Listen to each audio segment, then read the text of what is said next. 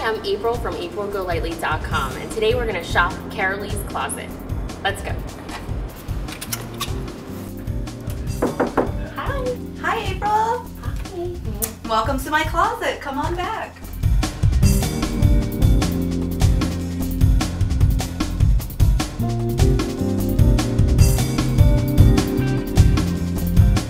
Karalee actually has a pear-shaped body, so we want to draw attention to the top half of her by choosing a blazer and a pop of color here. Stripes normally would not work here, but because of this area, it works better.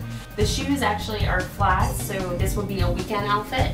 Um, and for a weekend brunch, we're gonna do platforms.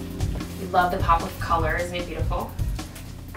So Karalee had this skirt and she's never worn it. She loves it, but she hasn't found anything to go with it. So we found this turtleneck that looks really nice with it and brings the eye up as well because of the her problem area is the hip area. Um, and also, so we did gray and there's a little bit of gray here. Mix it in with the black belt, black, kind of all bringing it together, and black shoes. Just a little bracelet, no necklace because the turtleneck is enough.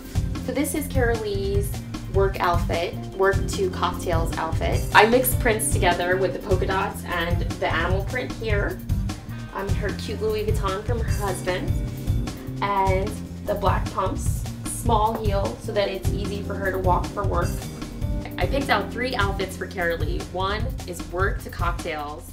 The second is for brunch to shopping. And the third is for night out. For more looks, go to aprilgolightly.com. Thanks.